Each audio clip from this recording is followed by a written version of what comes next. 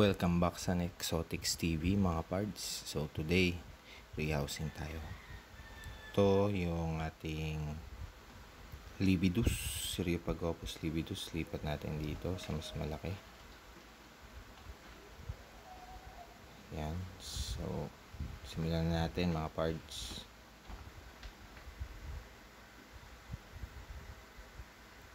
So, medyo risky to dahil known as Super Bolty ang Libidus.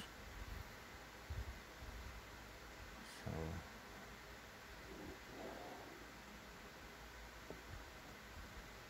yan. Buksan na natin.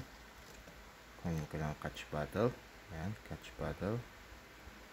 Brush.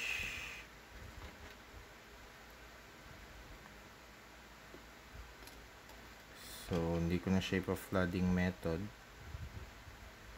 Ipo-push out ko na lang siya. So, nakalabas naman siya dito sa butas.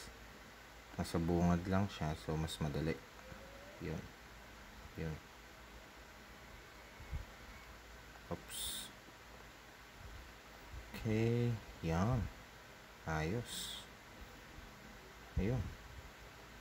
Very smooth. Unexpected to. Kasi, tagal ko na tong planong i-rehouse kaso nakakatakot kasi very bold ito. Yan. Pagmasdan natin yung ganda niya. Grabe. Cobalt blue tarantula. Napakagandang species. Napakakulay. Ganda ng pagka-blue ng legs niya oh. tsaka yung abdomen yung patterns napakaganda.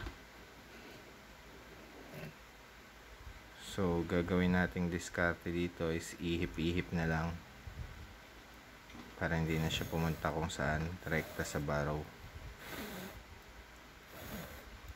Yun. Okay sara na natin. Tabi ko lang to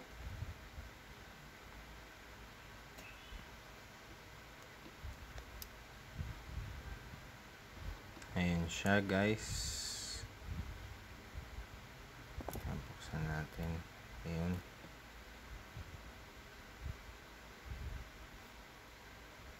ganda ng pagka blue niya oh.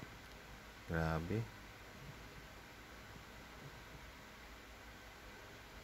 Ganda talaga ng mga blue tarantulas pero meron silang reputation as being bolty so ayun, ewan ko guys kung kita nyo yung mga springtails meron ng mga nakatagong springtails dyan sa enclosure